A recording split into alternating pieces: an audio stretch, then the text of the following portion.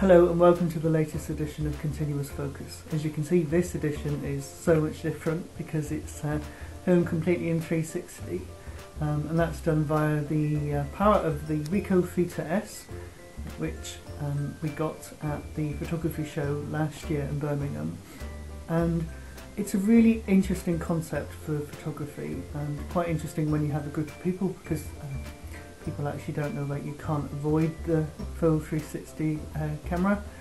Um, but I quite like the, the shots, etc. But my problem um, is I don't always take the camera with me, and uh, I sometimes think about using it after the event, and uh, that was true of um, a trip to New York at the end of last year, where we could have had fantastic uh, tiny planet compositions but I didn't think about that until we got to the top of the Empire State Building on, I think, our penultimate day.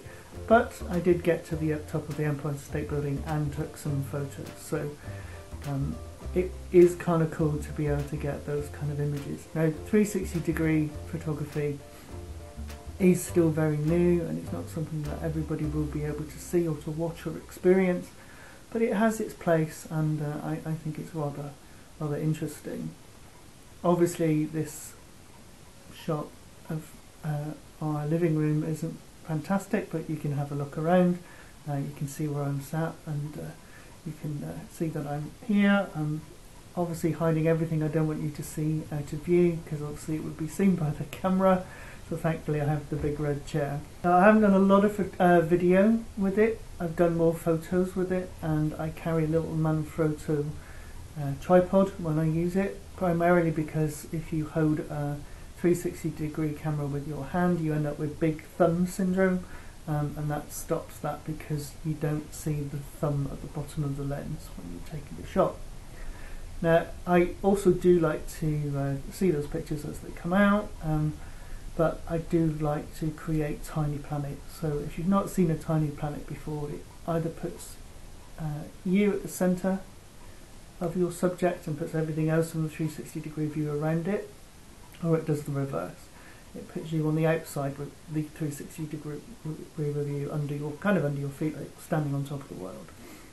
These are achieved fairly simply, fairly straightforward uh, to do. They take a bit of manipulation and software. It's not something you can do instantly. Um, and of course, the Theta doesn't have a screen. You can tether it to your phone, but I, I tend not to bother with um, using this as a viewfinder. I'll just use it as a shutter button.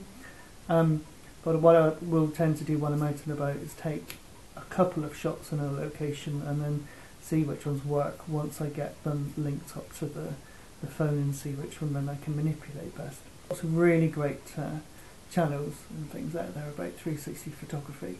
But I wanted to record a video and just say hi in all my 360 glory uh, because it's a, a change from the normal digital photography and the analog 35mm films I've been talking about in the past. And this was just a brief example of what's possible with a very small camera, um, same tripod, and me literally sitting here and you getting to experience the whole thing. So I hope you've enjoyed this. I hope you viewed this um, on YouTube and Google Chrome because you'll get the full experience. Hopefully, if I get to edit it correctly.